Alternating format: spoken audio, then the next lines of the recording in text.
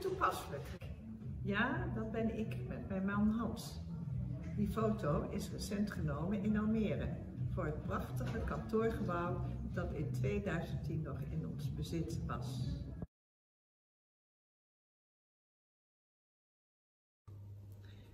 Ja, dat was een medewerker die wij in 2009 hadden aangenomen. Ondanks vele inspanningen van onze zijde bleek hij niet in het team te passen. Dus hebben wij de dienstbetrekking na drie maanden beëindigd. Hij was erg boos en dreigde ons met de ondergang. Aangezien wij ons van geen kwaad bewust waren, hebben wij hem gewoon laten gaan. De man heeft de Fiat wijsgemaakt dat onze software was voorzien van een afroomknop.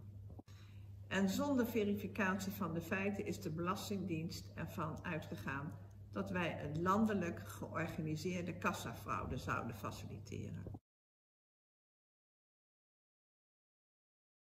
Zo is het. En zonder ons te vertellen waarvan zij ons nu eigenlijk verdachten, is een grootschalige actie op touw gezet.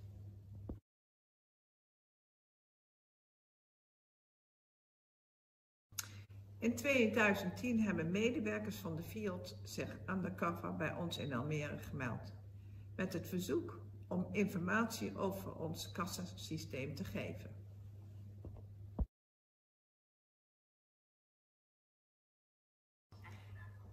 Ja, zij deden zich voor als eigenaar van een seksshop.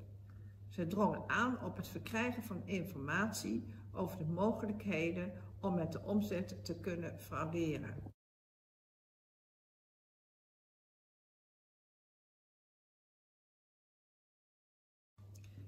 In 2010 hebben medewerkers van de HBV de kassa gedemonstreerd en vanzelfsprekend ook gemeld dat onze software was voorzien van een beveiliging door middel van een logboek waarin alle handelingen onuitwisbaar werden vastgelegd.